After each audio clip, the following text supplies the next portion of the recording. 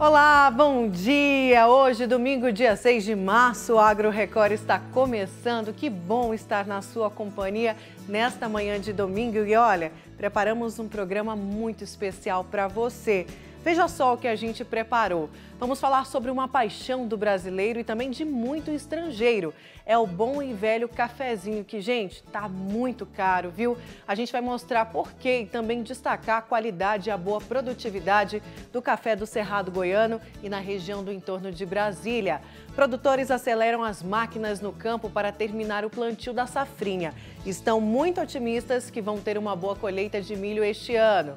Belas e lucrativas, vamos falar sobre o crescimento surpreendente do mercado de flores no Distrito Federal. Produtivas e muito inspiradoras, o Dia Internacional da Mulher está chegando e nós preparamos uma reportagem especial sobre a força feminina no agronegócio. Eu não te falei que estava imperdível? Então vem com a gente que o Agro Record está começando.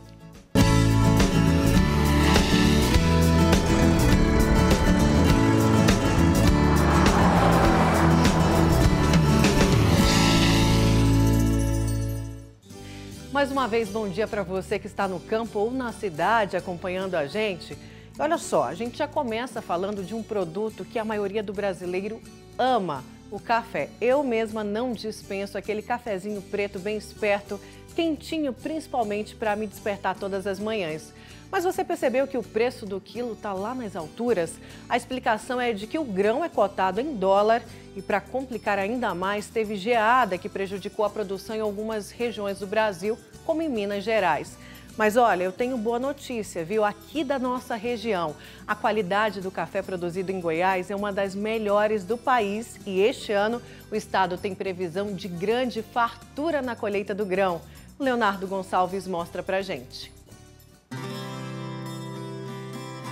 Quem é que não gosta de um bom e velho cafezinho coado bem cedo para esquentar? Depois do almoço vai bem. E tem gente que bebe café a qualquer momento do dia. Tem café de todo jeito, expresso ou os mais requintados. Pois é, quem é amante do café e também a dona de casa percebeu que o preço disparou. Tá bem mais caro. E isso deixou muita gente assustada. De agosto até antes do final do ano, a gente comprava antes de 10 reais um pacote é, de meio quilo, agora tá até 25. Mas essa semana nós andamos e achamos mais em conta. É, Para os espertinhos ainda tem uma saída, pagar menos claro que nós fomos buscar informações sobre o que causou o aumento do valor desse companheiro do dia a dia de muitos brasileiros. Para saber o que está acontecendo, visitamos uma das maiores indústrias processadoras de café em Goiás, que fica no DAIA, o Distrito Agroindustrial de Anápolis. Aqui se utiliza duas variedades do grão, o Conilon e o Arábica. Para se ter uma ideia, esse torrador gigante nem está operando na capacidade máxima e atualmente tem torrado mais de 33 mil quilos de café por dia.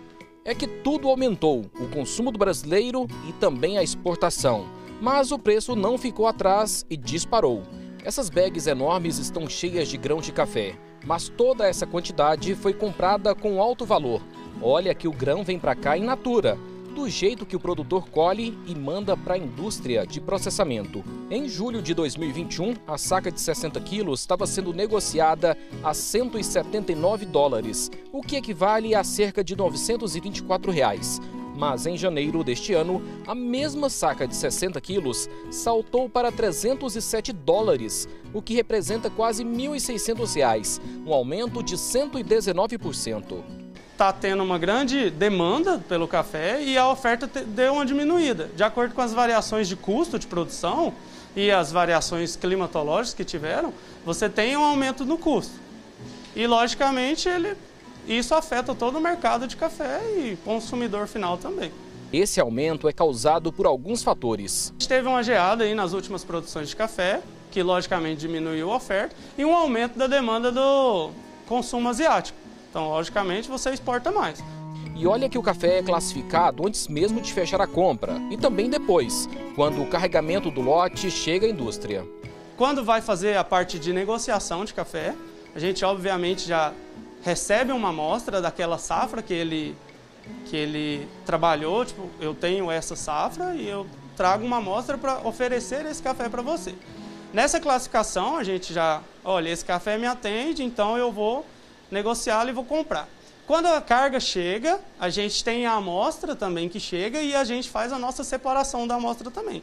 Essa indústria processadora produz seis marcas bem conhecidas de café. Vai do mais requintado, vamos dizer aquele mais encorpado, com um bom valor comercial, ao café com um amargo mais acentuado. Ah, a torra do café também influencia no sabor.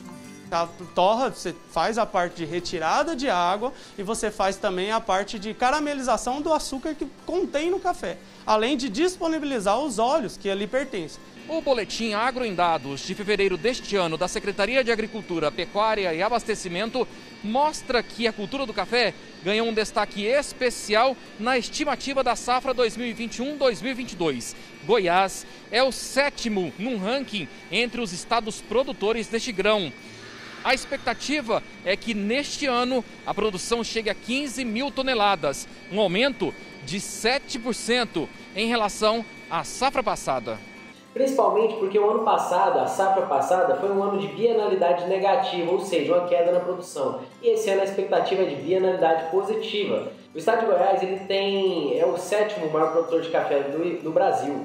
Porém, as suas produtividades está sempre entre as maiores do país e também essa sua qualidade é provada porque quem compra o café goiano são os maiores players de mercado, como Estados Unidos, Alemanha e Itália. Então, o café goiano é produzido com muita qualidade e tem uma competitividade muito grande no mercado nacional e internacional. Segundo a Associação Brasileira das Indústrias de Café, a ABIC, nós consumimos anualmente 81 litros desta bebida. É muito. Calma, isso equivale a 4 xícaras por dia. E vamos ser sensatos: o brasileiro gosta de café, mas não supera o consumo de outros países. Mas a pergunta que você que está em casa quer fazer é a seguinte: o valor do preço do café vai cair? Vai reduzir? A expectativa não é abaixar. Pode ser que ela estabilize, mas abaixar não é as, as especulações de mercado que a gente está tendo. Já o produtor de café, o que está achando dessa alta? Com custos cada vez mais altos, o aumento no preço para ele tem sido suficiente para garantir o lucro? Sim, o aumento do café e a alta do café foi vantajosa para nós. Porém, o custo do produto hoje está bem elevado devido ao câmbio alto, né? Tiveram alguns produtores da região do Cerrado Mineiro também que sofreram bastante com a geada, que creio ter sido um dos fatores da alta do café aí também. Só que hoje, graças a Deus, a gente não teve esse problema, né? A gente produziu bem o café e tivemos uma boa produtividade no ano de 2021. Você viu, né, gente, o aumento do café, olha só, mais de 115%. Tá muito caro. E aí é uma paixão do brasileiro. Qual que é a alternativa? Diminuir um pouquinho o consumo seria uma delas e, claro, começar a valorizar mais o que é produzido aqui na nossa região. Você viu a boa qualidade do café que é feito aqui no estado de Goiás, no entorno de Brasília também. Então vamos valorizar o que é nosso e a gente deixa o dinheiro aqui também. E olha, estamos na época da rotação da cultura da soja para o milho aqui no estado. Mas antes de entrar na safrinha, os produtores precisam ficar muito atentos com a ferrugem asiática, já que Goiás foi o que mais teve números de casos da doença que ataca as plantações de soja. E a região sudoeste do estado chamou bastante atenção. Vamos conferir. O monitoramento da ferrugem asiática é feito diariamente e em todo o Brasil pelo consórcio antiferrugem, coordenado pela Embrapa. É que a doença preocupa produtores de norte a sul do país. E essa é, informação, ela colabora bastante para determinar medidas de controle né, adequada para aquele momento, né? Caso tenha que fazer mais algumas estratégias, é, alterar algum tipo de produto a ser utilizado, os intervalos entre as aplicações, né? Então isso aí é muito importante. E para ele não esquecer principalmente da, do, do uso né, de fungicidas multissítios, né? Associados àqueles de sítios específicos, que a partir do momento da ocorrência da ferrugem, ou mesmo antes, é muito importante né, a associação desses produtos para impedir que ocorra aí um avanço e, consequentemente, ter um melhor controle, né? Foi na região centro-oeste do Brasil que as atenções ficaram direcionadas. É que na última atualização eram 154 casos de ferrugem asiática no Brasil em 11 estados. E Goiás ocupa o primeiro lugar, com 69 deles, ou 44% do total. O destaque fica para Rio Verde, no sudoeste goiano, que tem metade dos casos do estado. Em algumas regiões, aqui para nós, por exemplo, sudoeste Goiás, essa safra nós tivemos aí uma semeadura um pouco mais concentrada, né? ou seja, a janela de semeadura foi mais curta. Isso colaborou né, também é, e colabora bastante aí para o manejo da doença, né? É, quando a gente compara é, aquele ano que a janela de semeadura é um pouco mais extensa. Né? Então, aquelas, os últimos plantios acabam sendo penalizados. Rio Verde se destaca, Rio Verde não, eu diria o sudoeste goiano, a gente não pode chegar só a Rio Verde, que nós fizemos análises para todo o sudoeste goiano, porque nós já temos essa tradição no monitoramento. Apesar de nós reduzirmos no ano de 2022 é, o tempo que nós percorremos com o laboratório de fitopatologia, nós, como se diz, fizemos um número muito maior de análises. Então, proporcionalmente, nós, nós trabalhamos num período muito curto, mas com muito mais eficácia e eficiência, tanto para o lado do laboratório quanto para o lado do setor produtivo, que nos demandou nessa situação. Na região sudoeste, o acompanhamento foi feito por este laboratório, montado no Sindicato Rural de Rio Verde. Produtores de toda a região puderam trazer as suas folhas. O Vilmar foi um deles. Logo no começo das análises, conversou com nossa equipe e fez questão de monitorar a doença. É que em 2002, o produtor perdeu 60% da lavoura por causa da ferrugem asiática. É uma ferramenta a mais, né, para gente, para nós agricultores, né? Que porque a gente faz a aplicação dos produtos corretamente, né, dentro de tais intervalos, mas se não houver o monitoramento, para talvez a gente estar tá vindo antecipar uma aplicação, né, e para cercar uma, uma, uma doença, que no caso a ferrugem asiática, precocemente, pode ocasionar um, não fazendo isso, pode ocasionar um dano devastador, né? Mesmo com tantos casos em Goiás e na região sudoeste, o importante é que os produtores não tiveram grandes prejuízos. Nós conseguimos passar a ferrugem asiática ilesa nesse momento. Mas isso foi graças a quê? Primeiro, ao nosso produtor rural que já está muito mais profissional que aquele há 10 anos atrás. E segundo, monitoramento. Agora a gente fala sobre a guerra na Ucrânia. Produtores rurais estão preocupados com os efeitos do conflito entre a Rússia e a Ucrânia no agronegócio brasileiro. Um desses efeitos é a queda na oferta de insumos importados e que deve, deverá elevar ainda mais os custos de produção no setor. Vem comigo acompanhar então na matéria. O Brasil é uma potência na produção de alimentos e parte desse sucesso no campo se deve ao uso de fertilizantes. Os fertilizantes já estavam mais caros por causa da alta do dólar e a pandemia, que dificultou a logística mundial. Agora, surge uma nova preocupação para os produtores rurais brasileiros. É que vem da Rússia quase um quarto dos insumos consumidos aqui no país. E o conflito com a Ucrânia pode dificultar e encarecer a chegada desses produtos por aqui. O primeiro impacto direto e mais curto prazo é a questão cambial a, a guerra ela levou o valor do dólar em todo mundo e no Brasil não foi diferente. Com isso, muitos insumos que são importados passam a ter um valor mais elevado. Todo esse aumento de custo de produção acaba de uma certa forma refletindo na oferta do produto e diretamente no preço final.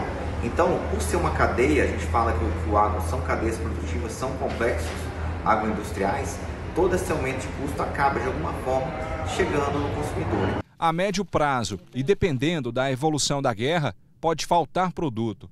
Em especial o Centro-Oeste, com suas grandes fronteiras agrícolas de solos um pouco mais pobres, tem uma demanda muito grande por fósforo e potássio. O potássio é o principal ponto de preocupação. O fósforo também temos preocupação, todos subiram muito desde o final do ano passado, mas agora a gente tem é, minas jazidas no Brasil, a gente é menos é dependente de importação na questão do fósforo, mas o potássio e a ureia também, que é muito utilizada no milho, o Brasil que grande produtor de milho mundial, vai ter grandes problemas e é muito séria a situação. 85% dos fertilizantes consumidos no Brasil são importados. Achar outro fornecedor pode não ser tão simples. Não apenas como agricultores, é, mas como seres humanos, uma guerra é, nunca trará resultados positivos ou agradáveis para quem quer que seja. Mas quanto à nossa atividade, nós podemos ter impacto sim na distribuição global e fornecimento global de alimentos. A própria Ucrânia é um grande produtor de milho, de trigo. É, podemos ter elevação de fretes marítimos, explosão na, na inflação global. Então, eu acredito que quanto mais rápido é, essas tensões forem dissipadas, melhor para o mundo todo, melhor para a agricultura, melhor para o alimento, para o fornecimento mundial de alimentos. É uma combinação que preocupa. Dólar alto e aumento de custos influenciam diretamente no preço das chamadas commodities agrícolas, uma espécie de cotação global de produtos como a soja e o milho. Grãos que são a base de produtos industrializados e das ações do boi, do frango e do porco, por exemplo. E a guerra do outro lado do mundo pode ter impacto direto na mesa do brasileiro. Todos nós vamos ser impactados, em maior ou em menor grau. Se você é um produtor de tomate no Brasil, de carnes na Argentina, se você mora em Nova York ou se você mora na Europa, você vai ser impactado. Ademar é gaúcho e veio para Goiás na década de 90 produzir soja, que hoje é o principal produto do agronegócio brasileiro. Soja que depende muito de fertilizantes a safra desse ano já está sendo colhida. A preocupação é com a próxima. Para você produzir um frango, você precisa farelo de soja.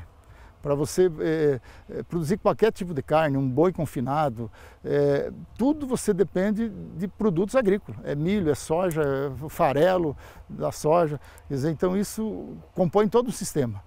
É, o pãozinho que você come todo dia, vai no panificador, ele vem de um trigo. A Ucrânia hoje é o segundo maior produtor de milho, o segundo maior produtor de trigo.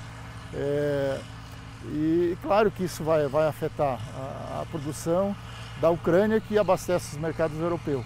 E somado também à quebra de safra no, no sul do país, do Brasil, e na Argentina e no Paraguai, nós vamos ter uma, uma oferta bem mais reduzida de, de, de, de, de produtos agrícolas e, consequentemente, é oferta e demanda. Quer dizer, então, nós teremos provavelmente uma alteração de preço.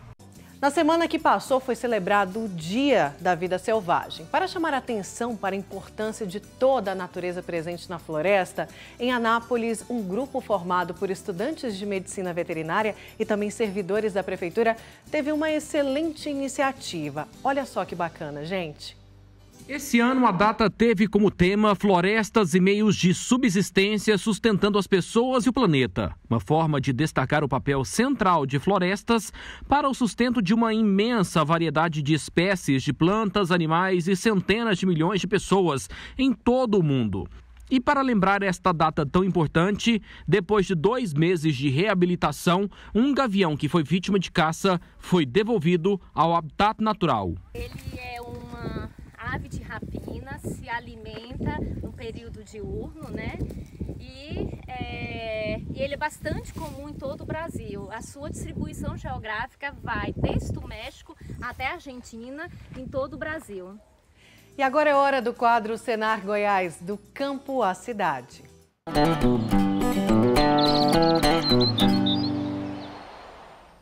As mulheres estão investindo em qualificação e assumindo diversos papéis no campo. E hoje não tem essa de pilotar trator e colheitadeira ser só um trabalho para homem, não, viu? Por isso, os custos do Senar Goiás nas áreas de operação e manutenção de máquinas agrícolas têm conquistado cada vez mais o público feminino. Lugar de mulher é onde ela quiser. E muitas escolheram e estão escolhendo o agro. A Graziella de Piracanjuba, por exemplo, não tem essa de serviço pesado não. Ela passa horas gradeando a terra para plantar e quando a soja está no ponto, assume o comando da colheitadeira. Mas esse é serviço de homem, é pesado. Se não, hoje não é. Hoje as mulheres podem e devem estar no campo, até mesmo por, ser, por, por a gente ser mais detalhistas. E hoje não há peso. Então, tem técnicas que você dá conta de, de, de, de arrumar qualquer tipo de maquinário ou dirigi-lo. As mulheres vêm abrindo caminho no campo. O Senar Goiás oferece vários cursos para que elas encontrem a direção correta e fiquem cada vez mais empoderadas, dominando essas máquinas cheias de tecnologia. Eu fiz o curso de treinamento e manutenção de implementos agrícolas e também fiz o de colheitadeira. Precisei aperfeiçoar e foi no Senar, foi onde eu tive o meu apoio. E no Senar Goiás, as mulheres não têm vez só fazendo os treinamentos. Uma das instrutoras que ajudam a romper as barreiras do mercado de máquinas agrícolas é a Elaine Freitas. Ser instrutora do Senar é uma satisfação muito grande, e ministrar um treinamento na área de máquinas agrícolas, atividade realizada em sua grande maioria por homens, é muito gratificante, pois acredito que eu possa servir de exemplo e inspiração para que outras mulheres venham trabalhar no campo. O treinamento que a Elaine ministra, operação de máquinas e implementos em plantio direto, ainda causa espanto nos homens que geralmente esperavam um instrutor. Geralmente eles ficam bastante surpresos. Dizem até que esperavam um instrutor e não uma instrutora, mas sempre finalizam a, o assunto em muito bom tom, dizendo a seguinte frase: que as mulheres dominarão o mundo. Especialmente no dia dedicado a elas, o Senar Goiás deseja um mundo de oportunidades e cada vez mais reconhecimento pelo trabalho das mulheres no campo. O marido da Graziella é só orgulho de ter uma parceira na lida diária da fazenda. Quando ela estava fazendo os cursos, né, no Senai, o pessoal ficava bem encantado de ver ela lá. Isso é muito importante.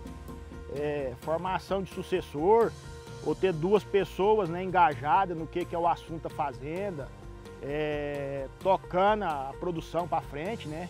Com certeza, faz parte do negócio. Que precisa de pessoas e as mulheres podem ingressar neles que é sucesso garantido.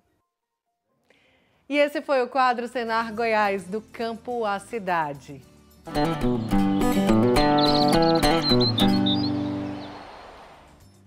Gente, vamos para o intervalinho. Deixa eu desejar um ótimo dia para você que está acompanhando a gente nesse domingo. Daqui a pouquinho vamos falar que os produtores aceleram as máquinas no campo para terminar o plantio da safrinha. E olha, estão muito otimistas que vão ter uma boa colheita de milho este ano. E ainda, belas e lucrativas. Vamos falar sobre o crescimento surpreendente do mercado de flores. Eu adoro, você gosta? Pois é, deixa a casa num tom especial, né? É já já, não sai daí, viu?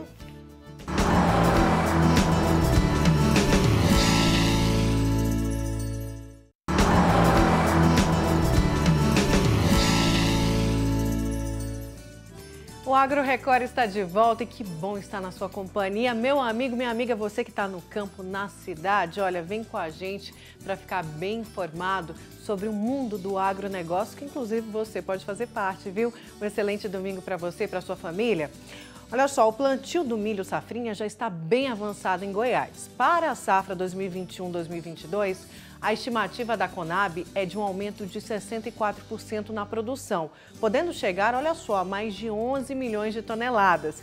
O repórter James Mateus mostra como está o plantio na região sudoeste do estado. Vamos lá conferir? Encerrada a colheita da soja, o Gonzaga Afonso já corre com o plantio do milho safrinha. Até porque na fazenda dele, esses dois processos atrasaram.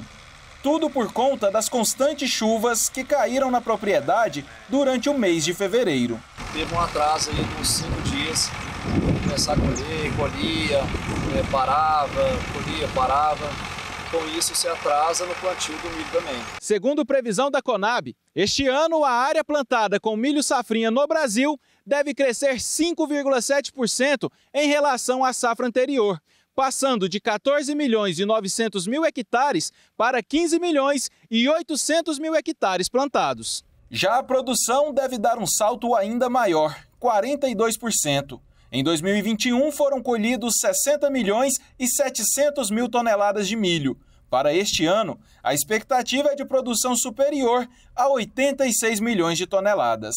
Em nível estadual, Goiás também deve ter saldos positivos. Na área plantada, o aumento deve ser de 4%, passando de 1 milhão e 600 mil para 1 milhão e 700 mil hectares. Já na produção, o milho safrinha deve ter aumento ainda mais significativo, de 64%. No caso de Goiás, Goiás ele houve um incremento também de área e também o que se espera é uma produtividade maior. O, o estado de Goiás, na safra passada, teve bastante queda, tanto que ficou em torno de 6,7 milhões de toneladas. O que se espera agora é que o Goiás atinja é, mais do que 11 milhões de toneladas de milho, o que é bastante importante para aquele estado, importante para o Brasil também. Somente o Gonzaga já plantou 100 hectares com o milho safrinha mesma quantidade de área plantada com soja. A previsão para início da colheita é entre 15 de julho e 1 de agosto. A expectativa é de colher 130 sacas por hectare, mas claro que tudo isso vai depender das condições climáticas. Agora o plantio está feito, está né? é, tá perfeitas condições, o solo molhado, é, previsão de chuva boa. Então agora é só manejar, agora é cuidar que, que, é, que a gente vai fazer o próximo passo? Vamos fazer adubação de cobertura, é, fazer uma, um controle de ervas daninhas e monitorar. Hoje, essas pragas aqui, que hoje a cigarrinha, que antes que ataca o milho bastante, essa vem causando maior prejuízo no milho. Ah, e a gente deseja boa sorte, viu, para os produtores e que o tempo ajude muito, viu? Seja um tempo favorável para essa colheita do milho. E você reparou que as pessoas têm gostado cada vez mais de colocar plantas e flores em casa? E não é só impressão não, viu? Durante a pandemia, esse mercado cresceu de forma surpreendente, até porque as pessoas ficaram mais em casa. O Distrito Federal, por exemplo, se tornou um dos maiores mercados consumidores de flores do país. E a nossa casa fica muito mais bonita e os produtores mais animados com as vendas. Vamos ver na reportagem da Carolina Rabelo. Há 22 anos, seu Nivaldo e sua esposa se encontraram no mundo das flores. E é um mundo de cores, formas e texturas diferentes. E quem olha assim, de pertinho, não tem como não se encantar. Desde então, essa é a única renda da família e esse amor é passado de geração em geração. Começamos bem pequeno, aos poucos, quase fundo de quintal, e fomos desenvolvendo e trabalhando, investindo e hoje já estamos com a terceira geração trabalhando dentro da propriedade aqui, já do nosso trabalho de produção. Porque a gente gosta, né? E desafiador também, né? Que é um, um segmento que é, a gente está sempre buscando caminhos, não existe caminhos prontos muito no nosso segmento, então é bem, bem desafiador. Essa é uma das áreas de produção do seu Nivaldo. Aqui nesta estufa, ele trabalha com os dois tipos de segmentos de plantas, as flores e as folhagens. Atualmente, ele produz uma média de 45 espécies. Quase sempre para ambientes internos das casas, né? Plantas de sombra e plantas para interna de, de, de casa, flor para externa. De Brasília realmente é um mercado forte per capita, né? Tem suas limitações também, mas é um excelente mercado. A gente tem tido um bom retorno com o trabalho de flores aqui. E os dados do setor são positivos. Segundo a Emater, o Distrito Federal é o maior mercado consumidor de flores per capita do país. Ou seja, enquanto os moradores de outros estados gastam uma média de 26 reais com flores, por aqui os brasilienses gastam cerca de 44 reais.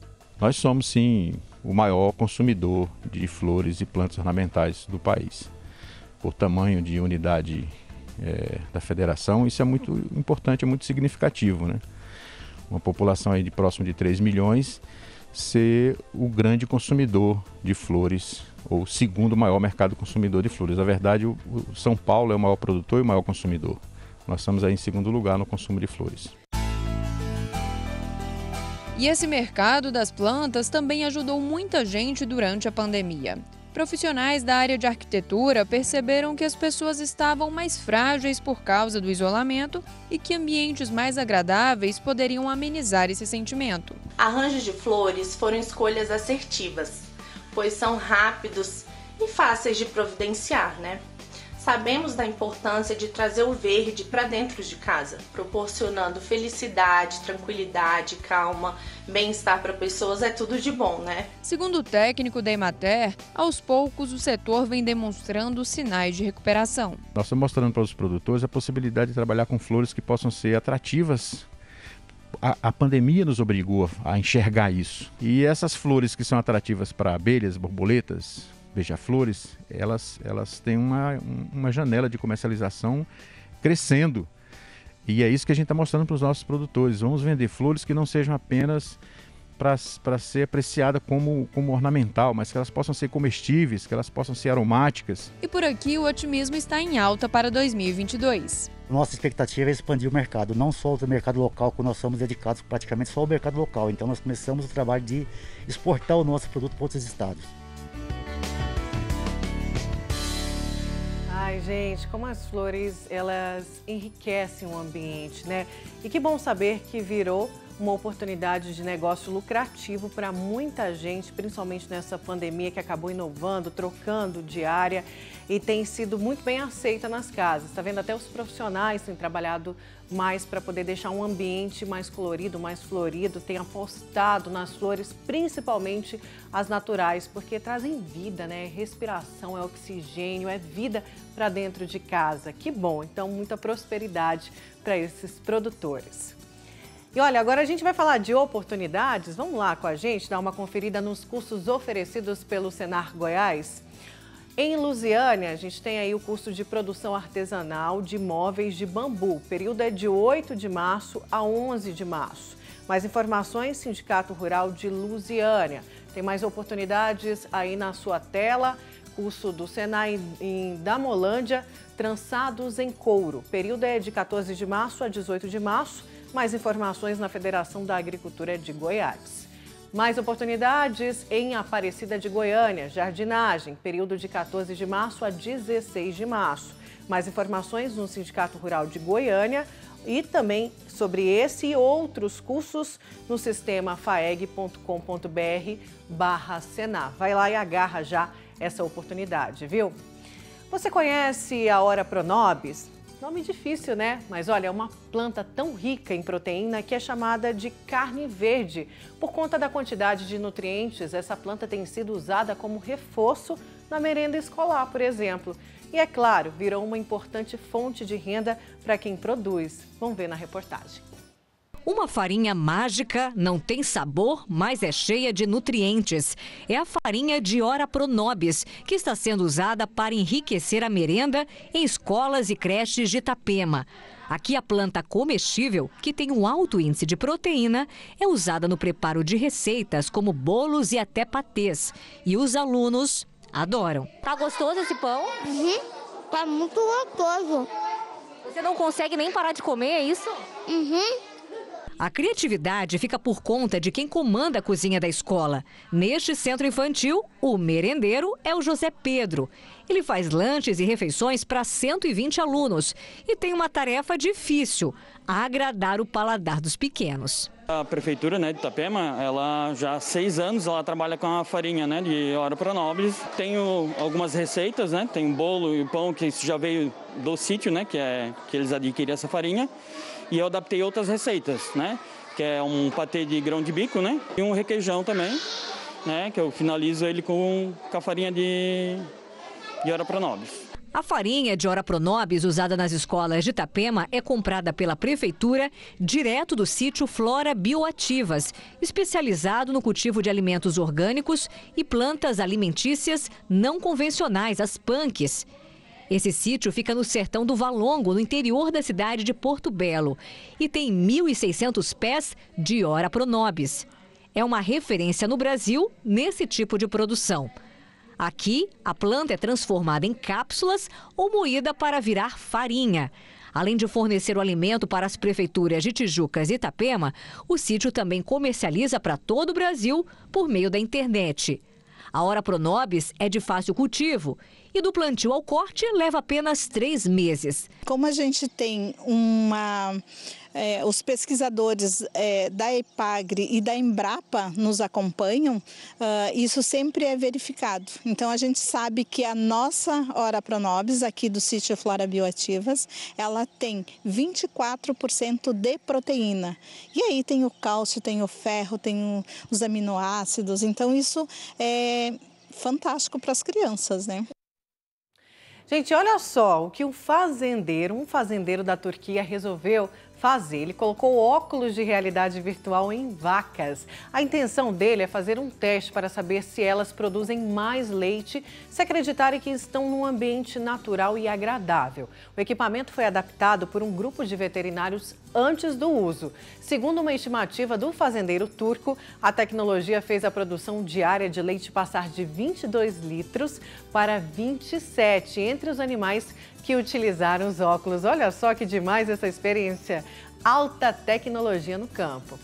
Mais um intervalinho do Agro Record não sai daí. Dá tempo de começar a preparar o almoço de domingo com a família. Daqui a pouco a gente vai para te mostrar aí uma reportagem especial sobre as mulheres no agro. Isso mesmo, produtivas e muito inspiradoras. Tá imperdível, viu, gente? Quem sabe você não anima e também entra no universo do agronegócio. É já já.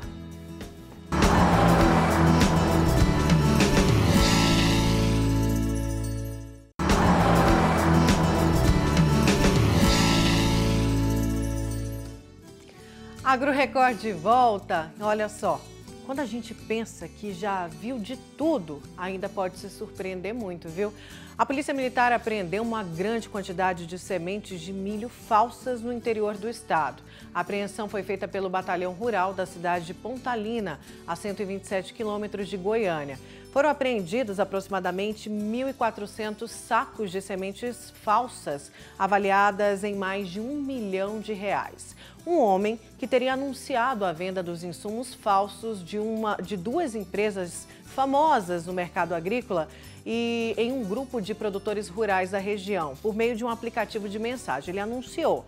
Daí uma pessoa desconfiou no, do golpe, porque não está fácil encontrar tanta semente disponível assim no mercado. A pessoa ligou para uma dessas empresas que negou que seria responsável pela mercadoria. A polícia foi acionada e o golpe, graças a Deus, foi descoberto. Esse tipo de crime, além de lesar as empresas que detêm as marcas, também prejudica muito o produtor rural que já tem enfrentado tantas dificuldades para manter a atividade produtiva. O homem foi preso e a Polícia Civil vai investigar esse caso. Então você já viu, olha só, desconfiou, a melhor coisa que você faz é justamente ligar e ver realmente se tem alguma coisa a ver a empresa com o anúncio, viu, gente? Não pode sair comprando sem antes conferir. Agora vamos dar uma olhadinha no mercado, começando pela cotação do milho. A cotação do milho já na tela, o preço médio semanal da saca é de 60 quilos. Em Acreúna está sendo negociado R$ 86,50. Em São João da Aliança, a R$ 73,00.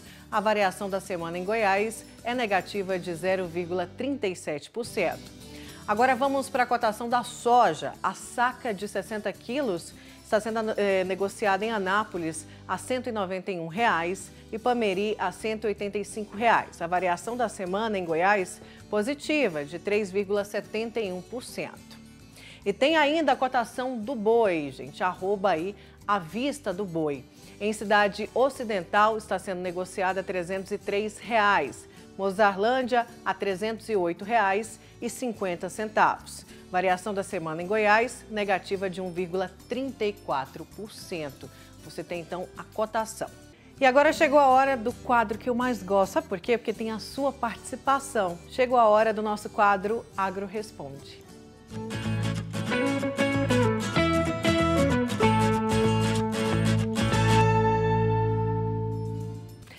A dúvida de hoje é sobre o cultivo de romã.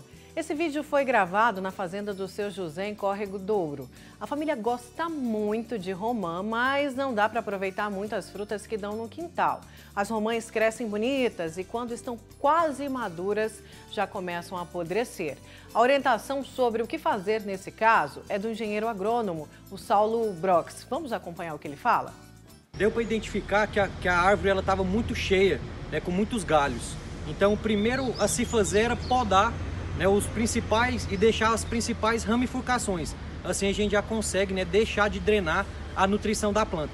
Porque a nutrição de, de planta, da romã, das frutíferas, são baseadas em principais três fatores, como sol, água e disponibilidade nutricional. Nesse caso da romã aí, como o fruto estava um pouco mais podre né, na base, com muito abortamento de flores, isso se deve à deficiência de, de cálcio e boro, né, que está diretamente relacionado a, a, esse, essa característica na planta. Né, uma simples calagem, né, com aplicação de calcário, aplicação de pó de rocha né, no solo da planta, já vai solucionar esse problema, melhorando o pH da, da região e fornecendo cálcio, magnésio e outros micronutrientes para a planta. Pois é, respondido aí para o seu José, para a família dele. Depois conta para a gente se deu certo. E você também pode mandar a sua dúvida, viu? Manda para a gente aqui, compartilhe o seu vídeo, sua foto. O importante é que você faça a imagem com o celular na posição horizontal, para ficar bem legal o vídeo. Então a gente te espera. Eu quero a sua participação aqui no Agro Responde.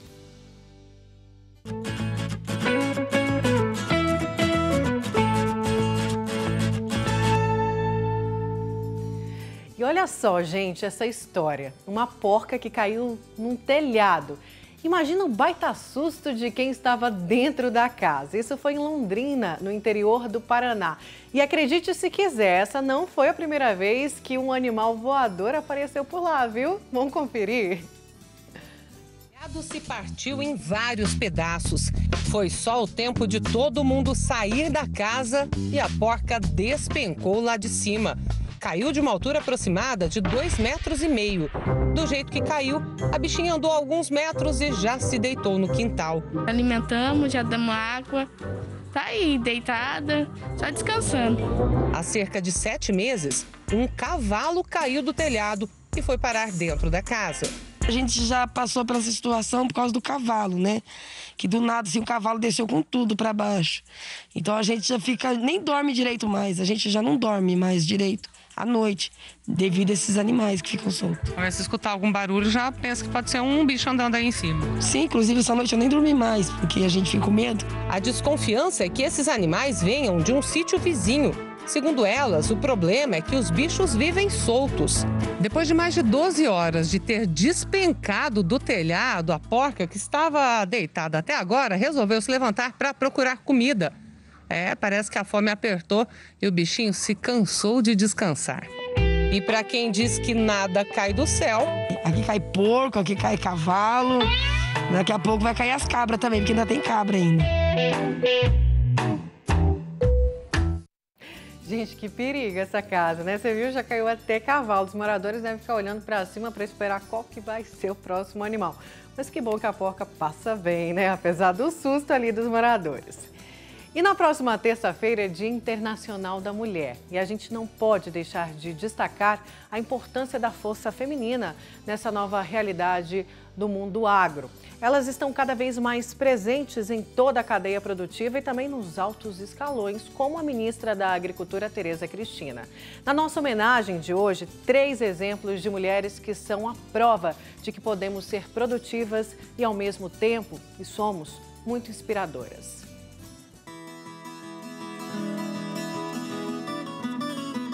Universo até então predominantemente masculino, as mulheres vêm ganhando destaque. O último censo feito em 2017 aponta que 20% das propriedades rurais no Brasil são geridas exclusivamente por mulheres e quase 40% dividem a gestão com homens, como irmãos e maridos. A Cristiane faz parte desse dado. Ela, a irmã e a mãe cuidam de uma fazenda de soja e milho de quase mil hectares fora a gestão de funcionários e tudo que envolve o negócio da família. Elas vieram de sucessões masculinas e assumiram depois da morte repentina do pai. Meu pai faleceu em novembro, a gente tinha plantado, acabar de plantar a soja, ele. E aí a gente teria, então, a gente enfrentou todo um manejo até a colheita em fevereiro. E aí aqueles questionamentos, ah, será que vai conseguir, vai dar conta? Esse tipo de coisa. Então, assim, mas eu nunca dei muita moral para isso. Eu sempre fui muito.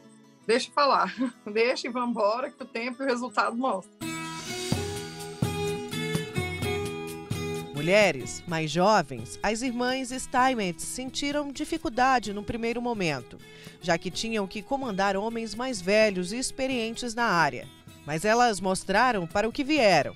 Desde que assumiram a fazenda, todo ano, a produção de safra de soja e safrinha de milho bate recorde. Eu escutava aqueles tititi, aqueles murmúrios, e falava assim: deixa eu falar, deixa eu falar, vamos embora.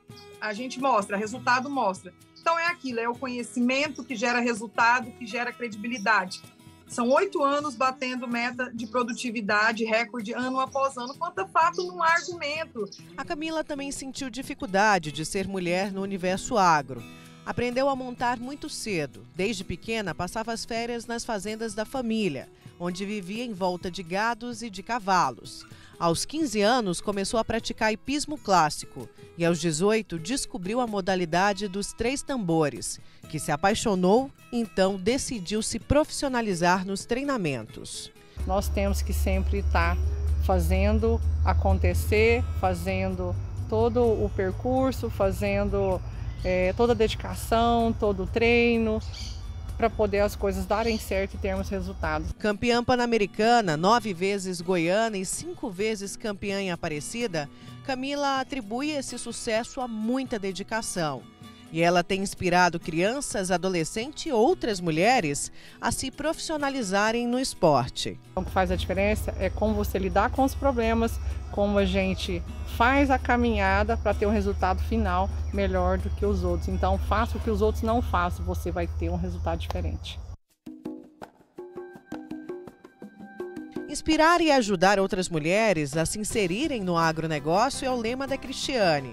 Ela e a irmã Adriane criaram a UMA, União das Mulheres do Agro, que já tem mais de 750 membros no Brasil e mais seis países. Nossa rede ela tem intuito básico de capacitação, que é levar para aquela mulher a capacitação profissional, ao desenvolvimento pessoal, benefícios para as nossas integrantes que são fornecidos através de empresas parceiras e um social muito forte, onde a gente leva para aquela que não tem condição que ela o faça através da nossa rede. Mas aí você se pergunta: para eu ser uma mulher do agro, eu preciso ser uma herdeira, ter nascido numa família que possui terras, propriedades? Negativo. Aí você se engana, sabe por quê? Porque o universo do agronegócio ele vai muito além do que a lida no campo, engloba vários setores. A Clarice é um exemplo disso. Eu presto serviço para o Senar e uma coisa que me inspira muito dentro dessa minha profissão, que eu sou apaixonada, é em poder levar, é, demonstrar para o produtor rural é, que ele pode trabalhar no campo e ter uma qualidade de vida, tanto ele quanto a família dele. Então eu tento passar para os produtores, para a família, para as mulheres e até mesmo para as crianças e para os adolescentes é, que essa área é uma área onde a gente pode trabalhar para contribuir com toda a produção alimentar do mundo. E do que mais ela se orgulha? Ah, claro, de ser mulher e estar inserida no universo do agro. É muito inspirador trabalhar no agronegócio, assim, por ser mulher, ser jovem e trabalhar com pessoas de mais idades, mais velho, e ver o quanto eles respeitam a nossa opinião, as nossas informações, a nossa técnica, o quanto eles é, têm segurança naquelas informações que a gente passa. São Clarices, Camilas, Cristianes, Adrianes, Marias, Márcias, nomes, rostos e histórias de mulheres que da terra tiram sustento, que alimentam o país incrementam a economia, ajudando a impulsionar o setor que mais cresce no mundo, o agro. São mães, filhas, esposas que, com botina, chapéu e muita força de vontade, debaixo de chuva ou de sol, não arregam para a dura lida no campo e, sempre com um sorriso estampado, inspiram outras mulheres. Cada uma tem uma habilidade, um talento, um dom no agro e às vezes passa desapercebido e às vezes a própria mulher não, não, dê o próprio, não dá o próprio valor que ela mesma tem, que ela mesma merece. A mulher no agro, ela é tudo. A mulher, ela é, ela é esteio, ela faz as mesmas atividades, ela tem uma cabeça produtiva e ela consegue fazer as coisas com mais foco e dedicação que muita gente.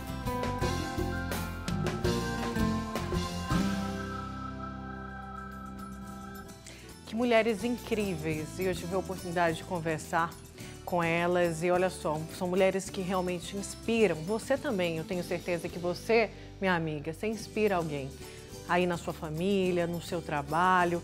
E é isso, a mulher, infelizmente, ainda ainda não é tão reconhecida no mercado de trabalho quanto um homem, se for comparar salário, cargos, enfim, a gente sabe que ainda tem muito para alcançar e para ser reconhecida, mas cada vez mais a gente se coloca nessa posição, viu, de, de não baixar a cabeça e de seguir em frente. Se você quer, deseja fazer parte do mundo do agro, você viu, não precisa ser dono de terra, não precisa, enfim, ser casado com alguém que é dono de terra ou ter herdado. Você pode estar inserido no mercado do agro. Tem tantas opções, é um moleque aí de opção, viu? E é um mercado que não para e tem muita geração de emprego. A gente sempre fala isso aqui no Agro Record e a gente já deseja, né, um feliz Dia Internacional para todas as mulheres e que seja um dia maravilhoso, uma semana maravilhosa para você, minha amiga, aí do outro lado, do outro lado. Gente, foi rápido, né? Foi muito rápido. Sabe por quê? Porque a gente estava em excelente companhia. Você aqui com a gente, a gente com você do outro lado. Muito obrigada, viu, pela companhia. O Agro Record de hoje termina por aqui. Aproveita o seu domingo com a sua família. Uma excelente semana para você, de boas novas. E até domingo que vem. Tchau!